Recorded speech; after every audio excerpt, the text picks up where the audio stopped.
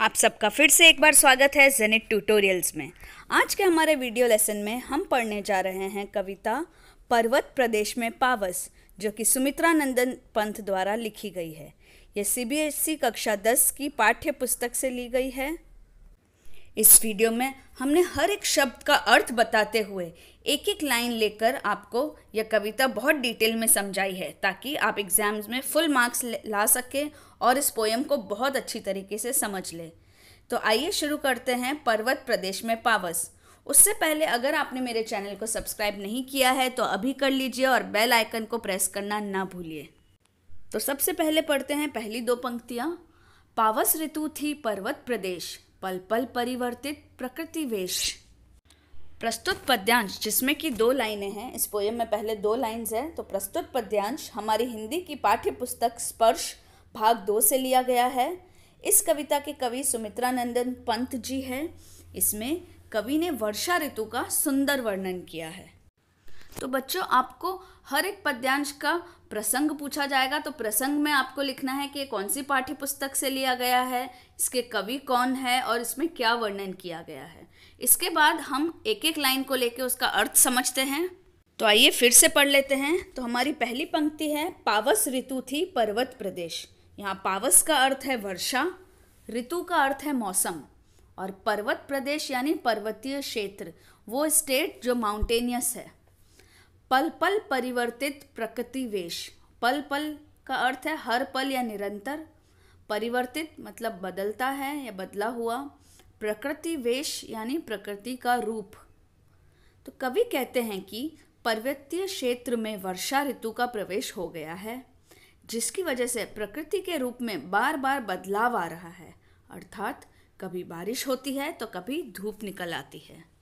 तो आइए अब हम पढ़ते हैं अपना दूसरा पद्यांश। इस पद्यांश में छह लाइनें हैं, छह पंक्तियाँ हैं।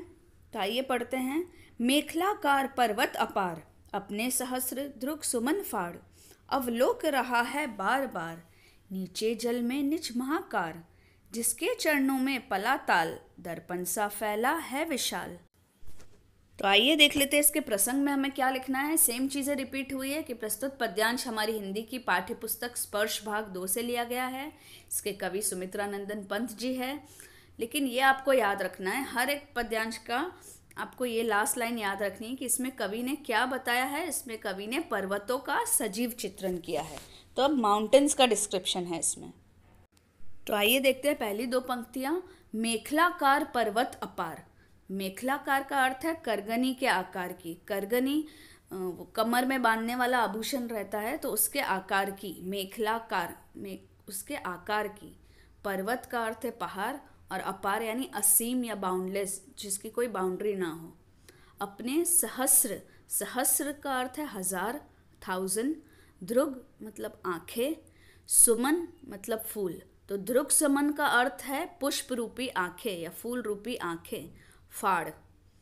तो कवि ने पहाड़ों के आकार की तुलना करगनी अर्थात कमर में बांधने वाले आभूषण से की है। कवि कहता है कि करगनी के आकार वाले पहाड़ अपने हज़ार पुष्प रूपी आँखें फाड़कर तो आँखें फाड़कर क्या कर रहे हैं, वो हम अगली लाइन में देखते हैं। अवलोक रहा है बार बार यहाँ अवलोक का अर्थ है देखना बार बार का अर्थ है लगातार। नीचे जल में निज महाकार निज का अर्थ है अपना स्वयं का, खुद का। महाकार यानी विशाल आकार, बहुत बड़ा आकार। हमारी पिछली दो लाइनों में हमने पढ़ा था कि मेखलाकार पर्वत जो है, वो अपने सुमन रूपी आँखों से, अपने पुष्प रूपी आँखों से क्या देख रहे हैं? तो यहाँ इसका जवाब है कि नीचे जल में अपने विशाल आकार को लगातार देख रहे हैं। अवलोक रहा है बार बार देख रहे हैं बार बार क्या देख रहे हैं? नीचे जल में अपना खुद का बड़ा आकार देख रहे हैं। तो इन दो लाइनों का अर्थ है, नीचे जल में अपने विशाल आकार को लगातार देख रहे हैं। जिसके चरणों में पला ताल, दर्पण सा फैला है विशाल। तो चरणों का अर्थ है कदमों, ताल का अर्थ है तालाब। दर्पण यानी आईना या मिरर, विशाल आपको पता ही है, बड़ा। तो ऐसा लग रहा है कि पहाड़ ने जिस तालाब को अपने चरणों में पाला है, वह तालाब पहाड़ के लिए विशाल आईने का काम कर रहा है। चरणों में पाला है का अर्थ क्या है कि वो पहाड़ के नीचे है। और उसी तालाब में अपना प्रतिबिंब दिख रहा है पहाड़ को, इसलिए ऐसा लग रहा है कि वो दर्पण है। तो ऐसा लग रहा है कि पहाड़ ने जिस तालाब को अपने चरणों में पाला है, वह तालाब पहाड़ के लिए एक विशाल आईने का काम कर रहा है। तो अब हम एक साथ इन छह लाइनों का अर्थ पढ़ लेते हैं। यहाँ पर पर्वत श्रृंखला की तुलना करगनी, यानी कमर में पहनने वाले गहने से की गई है। विशाल पर्वत अपने सैकड़ों फूल जैसी आँखों को फाड़कर नीचे पानी में जैसे अपना ही अक्स निहार रहा हो, अपना ही प्रतिबिंब निहार रहा हो। साधारण भाषा में कहा जाए तो पानी में पहाड़ का प्रतिबिंब बन रहा है, रिफ्लेक्शन हो रहा है। ऐसा लग रहा है कि पहाड़ ने जिस तालाब को अपने चरणों में पाला है वह तालाब पहाड़ के लिए विशाल आईने की तरह फैला हुआ है। अब आइए पढ़ते हैं अगली चार पंक्तियाँ। गिरिका गौरव गाकर जर्जर मद में नस नस उत्तेजित कर। मोती की लड़ियों से सुंदर जड़ते हैं जाग भरे निर्जर। तो आइए पढ़ लेते हैं इसका प्रसंग। मैंने फिर से वो लाइनें रिपीट नहीं की है। मैं डायरेक्टली बता रही हूँ कि इसमें कवि ने झरनों की सुंदरता का वर्णन किया है। इसके पहले पहाड़ थे, अब इसमें है झरने यानी वाटरफॉल्स जो माउंटेन से गिर रहे हैं, वो वाटरफॉल्स तो इसमें कवि ने झरनों की सुंदरता का वर्णन किया है। गिरी का गौरव घाकर जर्जर। गिरी का अर्थ है पहाड़। गौरव यानी प्रताप। मद यानी नशा। नस नस यानी every nerve each and every nerve उत्तेजित एक्साइट मोतियों की लड़ियों से सुंदर। जड़ते हैं जाग भरे निर्जर। यहाँ मैंने आपको मोतियों की लड़ी, लड़ियों का एक फ़ोटोग्राफ दे रखा है, जिससे कि आप उसको कंपेयर कर सके कि कैसे झरने मोतियों की लड़ी के जैसे होते हैं। तो मोतियों की लड़ियों से सुंदर जड़ते हैं जाग भरे निर्जर। जाग का अर्थ है फेन, जो फोम होता है झरनों के गिरने से। और निर्जर का अर्थ है झरने। यहाँ मैंने आपको एक पिक्चर और निर्जर का दिखा रखा है, ताकि आप निर्जर और मोती की लड़ियों को, की सुंदरता को कंपेयर कर सकें। तो इस पद्यांश में कवि कह रहा है कि मोतियों की लड़ियों के समान सुंदर झरने जड़ की आवाज़ करते हुए बह रहे हैं। ऐसा लग रहा है कि वे पहाड़ के प्रताप के गाने गा रहे हैं और पहाड़ के गौरव के नशे में चूर है। पहाड़ों का गुणगान कर रहे हैं।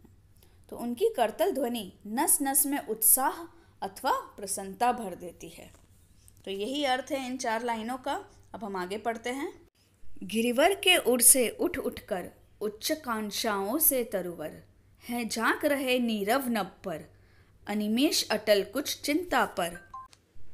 गिरिवर के उड़ से उठ उठकर, गिरिवर का अर्थ है पर्वत और उर का अर्थ है हृदय।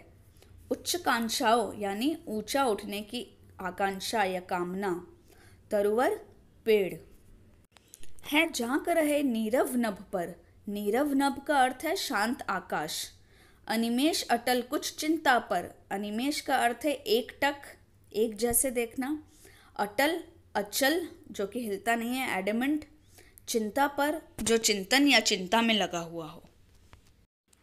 तो पहाड़ के ऊपर और आसपास पेड़ भी होते हैं, जो उसकी सुंदरता को और बढ़ाते हैं। तो इसीलिए इसे पर्वत के हृदय से उठकर बोला गया है। तो पर्वत के हृदय से पेड़ उठकर खड़े हुए हैं और शांत आकाश को अपलक और अचल होकर किसी गहरी चिंता में मग्न होकर बड़ी महत्वाकांक्षा से देख रहे हैं। ये हमें ऊँचा और ऊँचा उठने की प्रेरणा दे रहे हैं। उड़ गया अचानक लो भूथर फड़का अपार पारत के पर। रवशेष रह गए है निर्जर, है टूट पड़ा भू पर अंबर। तो आइए पढ़ते हैं अब इसकी हर एक पंक्ति। तो आइए अर्थ पढ़ने से पहले प्रसंग समझ लेते हैं। तो प्रस्तुत पद्यांश में कवि ने बारिश के कारण प्रकृति का बिल्कुल बदला हुआ रूप दर्शाया है।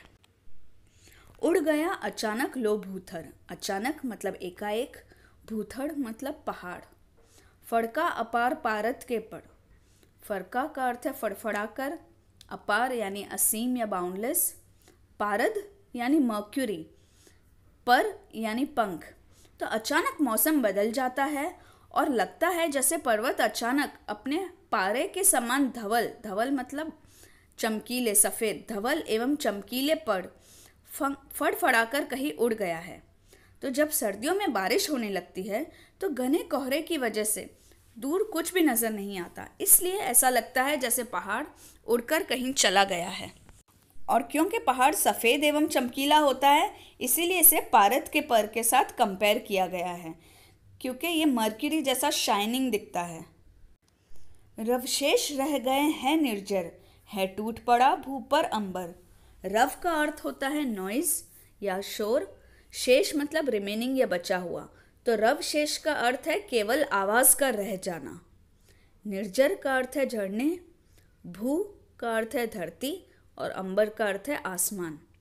तो अब केवल झरने की आवाज़ निशानी के तौर पर रह गई है, क्योंकि धरती पर आसमान टूट पड़ा है, अर्थात बहुत ज़ोर से बारिश हो रही है। और हमने ऑलरेडी पहली दो पंक्तियों में पढ़ा कि पहाड़ गायब हो गए हैं, क्योंकि बहुत कोहरा छा रहा है, इसलिए अब क्या शेष रह गया है? केवल आवाज़ शेष रह गई है। आइए अब अगला पद्यांश पढ़ते हैं। धस गए धरा में सभे शाल, उठ रहा धुआँ, जल गया ताल। यो जलदयान में विचर विचर था इंद्र खेलता इंद्रजाल धस गए धरा में सभय शाल। धरा मतलब धरती। सभय का अर्थ है भय के साथ। विथ फियर शाल। शाल एक वृक्ष का नाम है, मैंने देखिए शाल के वृक्ष का नीचे एक पिक्चर दे रखा है ताकि आपको एकदम क्लियर हो जाए। उठ रहा धुआँ, जल गया ताल। यहाँ ताल का अर्थ है तालाब। तो आप देख सकते हैं मैंने एक पिक्चर दे रखा है। जहाँ पे कोहरे की वजह से एकदम धुआँ दिख रहा है तो ऐसा प्रतीत हो रहा है जैसे कि तालाब जल रहा हो और इसीलिए उसमें से धुआँ निकल रहा हो। तो प्रकृति का ऐसा भयानक रूप देखकर शाल के पेड़ डर कर धरती के अंदर धस गए हैं। चारों ओर धुआँ होने के कारण लग रहा है कि तालाब में आग लग गई है वह जल रहे हैं। यो जलदयान में विचर विचर था इंद्र खेलता इंद्रजाल। जलदयान का अर्थ है बादल रूपी विमान। विमान यानी एरोप्लेन। विचरना विचरना का अर्थ होता है घूमना तो विचर विचर का अर्थ है घूम घूम कर। इंद्र यानी इंद्र देवता यानी वर्षा का देवता। इंद्रजाल यानी जादूगरी। इंद्र देवता बहुत सारे जाल बिछाते रहते थे, जादू करते रहते थे तो उसे इंद्रजाल का कहते हैं। तो ऐसा लग रहा है कि ऐसे मौसम में इंद्र देवता भी अपना बादल रूपी विमान लेकर इधर उधर जादू का खेल दिखाते हुए घूम रहे हैं। तो बच्चों, मैं चाहती हूँ कि जब भी आप ये पढ़ रहे हैं, ये वीडियो जब भी आप देख रहे हैं तो व्याख्या की जो लाइनें मैंने नीचे लिख रखी है, वो एग्जैक्टली exactly वैसे ही आप कॉपी कर ले अपनी नोटबुक में, ताकि एग्ज़ाम के पहले आपको रिवाइज करने में बहुत ही आसानी हो। बोलते वक्त मैं आपको ज़्यादा एक्सप्लेनेशंस दे रही हूँ, लेकिन मैंने जो लिखा हुआ है यहाँ पे वो परफेक्टली आपको आंसर में लिखना है तो इसे लिख ज़रूर लीजिए आप वीडियो को देखते हुए। इसे हर बार पॉज कीजिए और हर बार जो व्याख्या और प्रसंग मैंने लिख रखा है, उसे आप अच्छे से नोट कर ले। पूरी कविता के नीचे वर्ड मीनिंग्स जो मैंने आपको दे रखे हैं, वो अच्छे से अंडरलाइन करके लिख लीजिए, ताकि आपको कोई भी डाउट ना रहे। तो बच्चों, आपको अगर मेरा ये वीडियो पसंद आया है तो इसे लाइक करें, अपने दोस्तों के साथ शेयर करें और कमेंट बॉक्स में हमें लिख के ज़रूर बताइए कि आपको ये वीडियो कैसे लगा। और मेरे चैनल को सब्सक्राइब करना ना भूलें। तो all the best and do well in your exam and keep learning on Jenit tutorials आप हमारे चैनल पे सीबीएसई e की प्लेलिस्ट चेक कर सकते हैं। हमने बहुत सारे मैथ्स के साइंस के और हिंदी और इंग्लिश के वीडियोस अपलोड किए हैं। धन्यवाद।